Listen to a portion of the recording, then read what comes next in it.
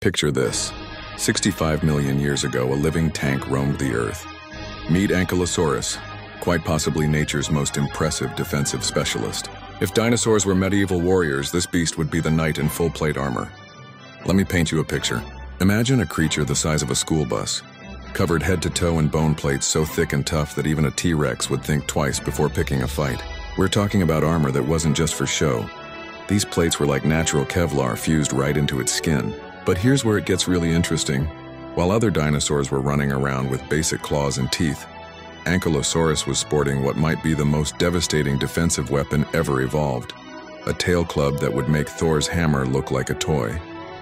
This massive bony club, weighing up to 100 pounds, could swing with enough force to shatter the leg bones of any predator foolish enough to try their luck. Now you might think all this armor would make it slow and clumsy like a turtle stuck in mud, but that's where you'd be wrong. Despite weighing up to four tons, this prehistoric tank was surprisingly agile. It had to be.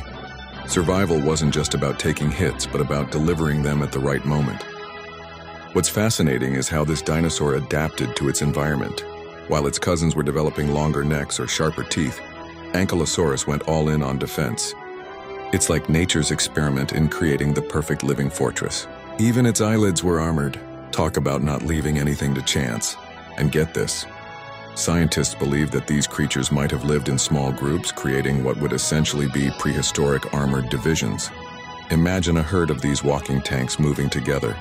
It must have been an incredible sight and a nightmare for any predator. The Ankylosaurus tells us something remarkable about evolution. Sometimes the best defense is a good defense.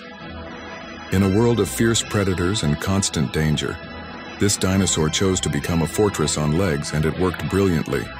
It survived right up until the mass extinction that wiped out the dinosaurs, proving that sometimes being built like a tank is exactly what you need to make it in a tough world.